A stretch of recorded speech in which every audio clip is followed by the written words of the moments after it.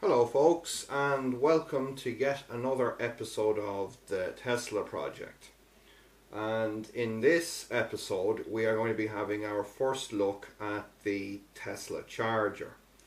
Now when I say the Tesla Charger, what I mean is the 10 kilowatt onboard uh, Gen 2 um, AC charger as fitted uh, to the Tesla Model S. Uh, it may be fitted to the model the Model X. Uh, I'm not sure, but this one that I have came from the Model S.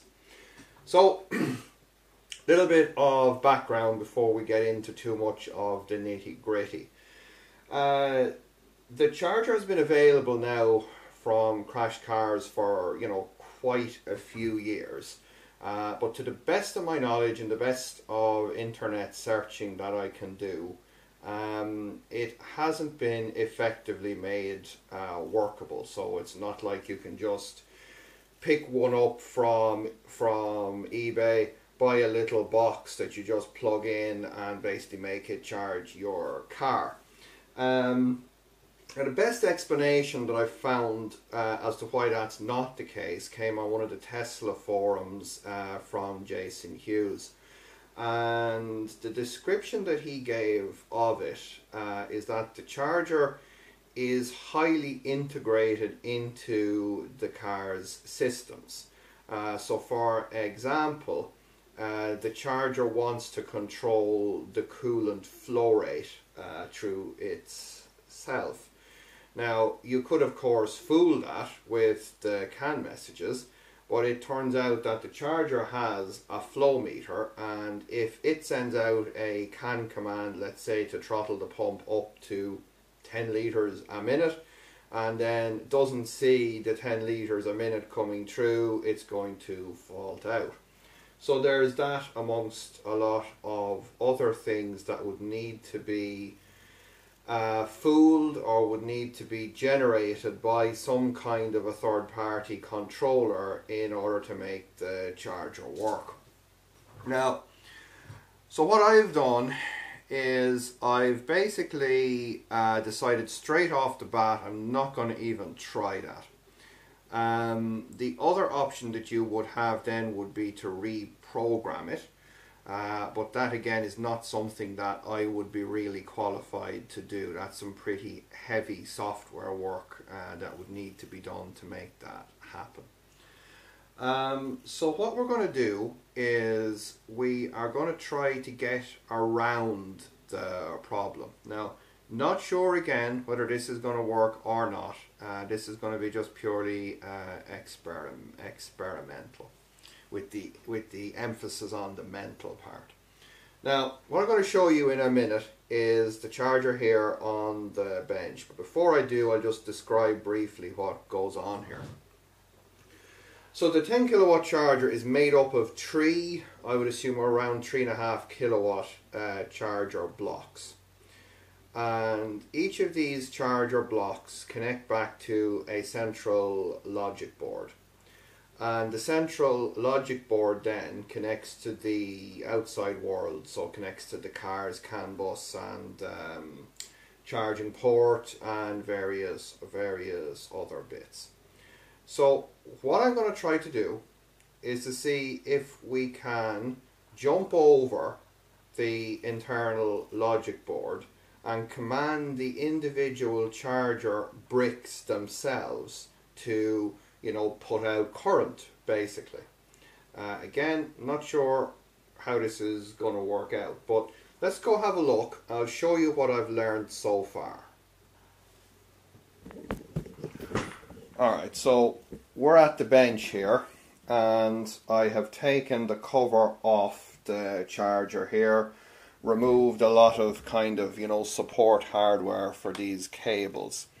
Um, so straight away, you can see that we have three almost identical uh, charger kind of power units here for want of a better word and they're all encompassed in this scary goo this type here is really scary it's kind of alien um, and then up at this end this is where the mains comes in. So the mains comes into each uh, power unit here. You'll see we have six wires, um, a phase and ground uh, for each of the bricks. At the far end, you'll see the red and the black wires. That's where the DC comes out. Again, to another uh, six-way power type connector. Now down here is really the business end. This is the logic board and it connects to the power units uh, by way of a 24 pin uh, JST CPT uh, socket here which is the very same as used on the large drive unit logic board.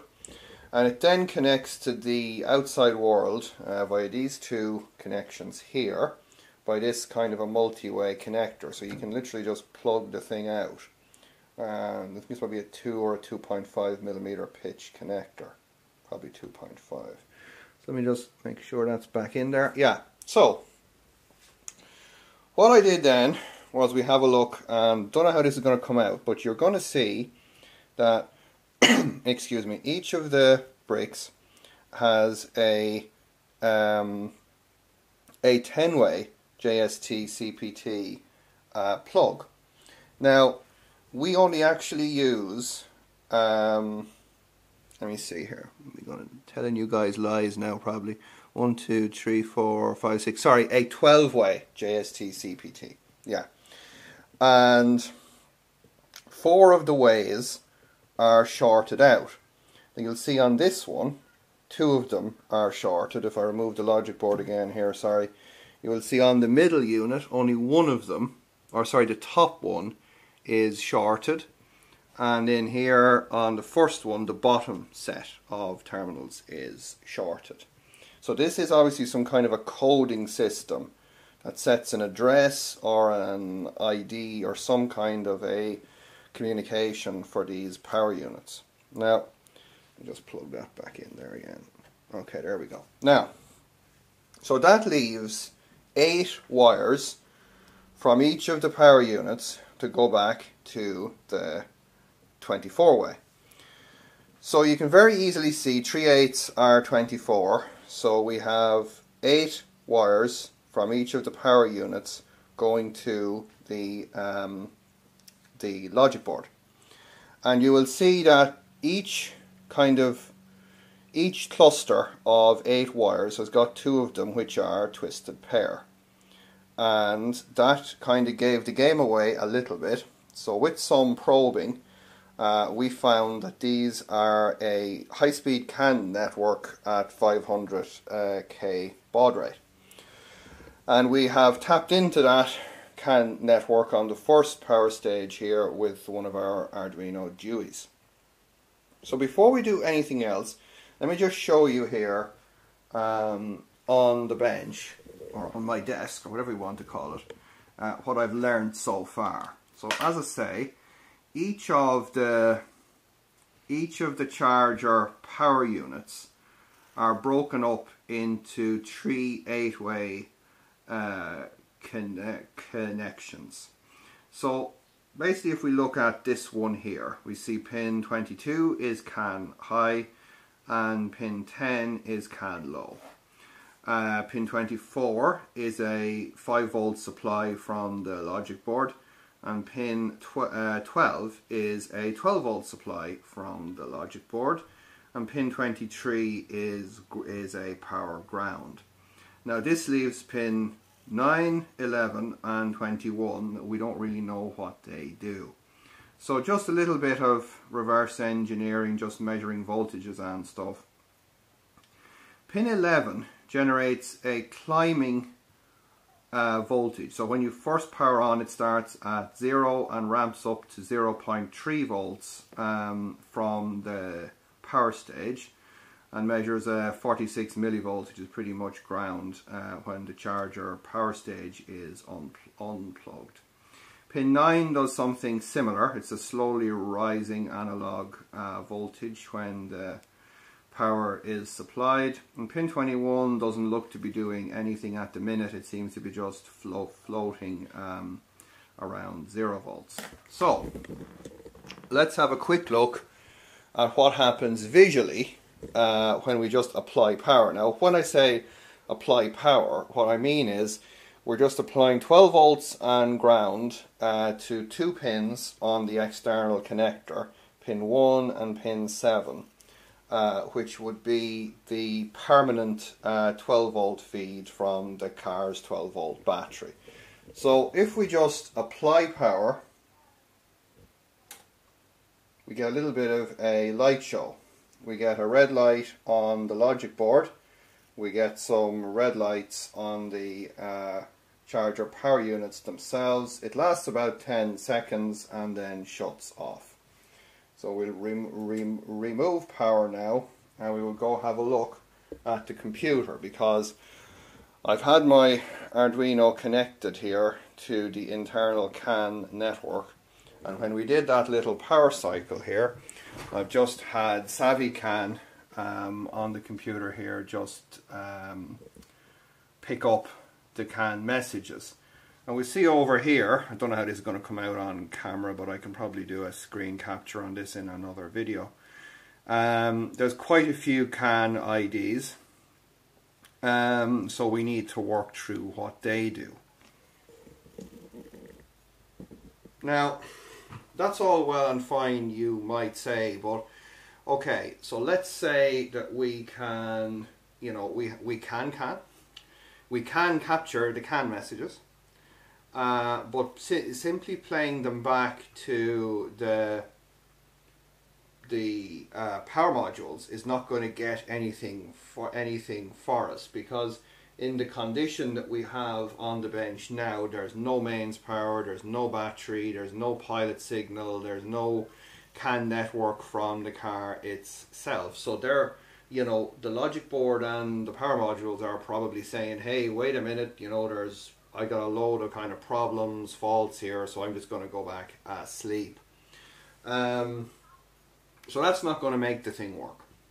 So the next phase for the charger is the following.